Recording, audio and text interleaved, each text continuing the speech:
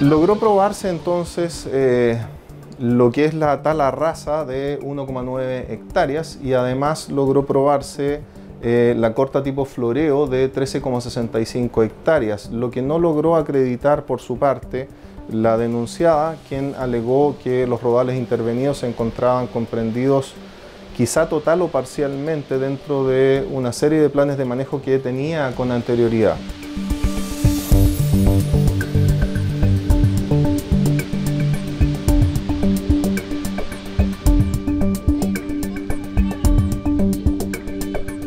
determinó que se le hacía aplicable una multa ascendente a 74.369.524 pesos y también eh, se le asigna una obligación de reforestar eh, con a lo menos 5.700 plantas eh, afines a los tipos forestales infringidos dentro del mismo terreno o en terrenos que podrían ser de características similares. Ellos tienen que recurrir, ¿no es cierto?, a la corporación y presentar su plan de manejo de corrección, que se llama, en el fondo ellos van a tener que corregir este daño.